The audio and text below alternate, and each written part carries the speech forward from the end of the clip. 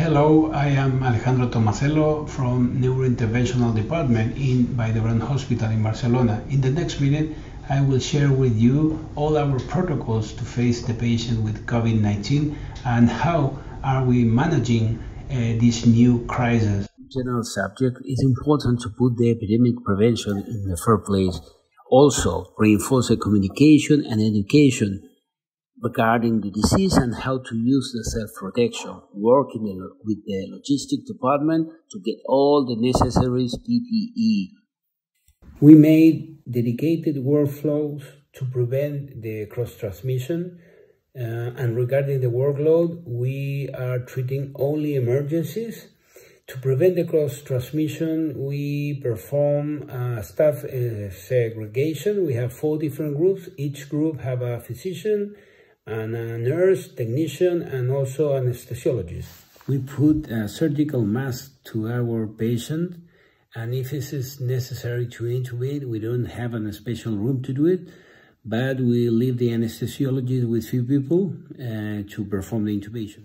Concerning the imaging uh, protocols, we add to the normal study a CT evaluation and if we couldn't, we start the CTA from the base of the diaphragm in order to cover all the chest. It's very useful, this information, not only to select your PPE, also it's important uh, to know where do you will send your patient after the treatment. For a negative uh, COVID patient, we use the, we dress as usual, use the FFP2 mask and protective goggles. With a COVID positive patient, we use the Hartmann shoot, FFP3 mask, double cap, double gloves, and protective uh, goggles. We always put uh, on the patient a surgical mask and use any disposable LED screens and to make barrier in between the medical team and the, and the patient. We also put all the disposable in a biological waste bin, which is then uh, collected for incineration and activate a special trained cleaners team and be prepared the, the entry for the next patient.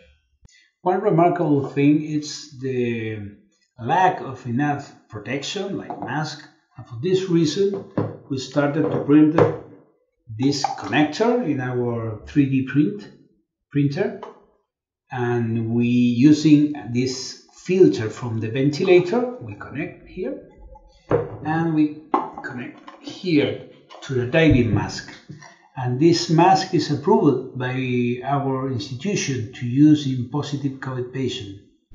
I hope all this information is useful for you to keep safe and to treat your patient. Please don't hesitate, contact me, and I really wish that all this happen quickly.